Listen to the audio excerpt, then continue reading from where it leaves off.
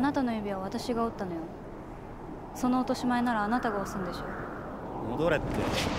おい！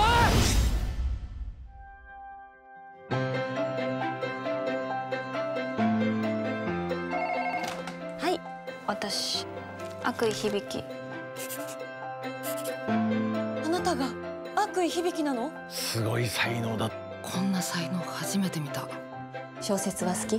大好き読むのも書くのも好き。入部希望よ。殺すぞ。私を殺すって言われたから殺されないようにしただけ。芥川賞直木賞両方で最終候補に選ばれたんです。傑作です。あの子はおかしいよ。作者に問題が。一緒にすんじゃねえよ凡人間違いなく天才です。私はあなたみたいな天才じゃない。彼女が何かしたら取り返しのつかないことになるぞ。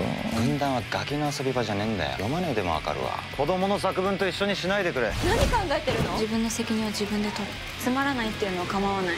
でもちゃんと読んで判断しなさい。そうじゃないと卑怯よ。私が書きたいから書くの。響き。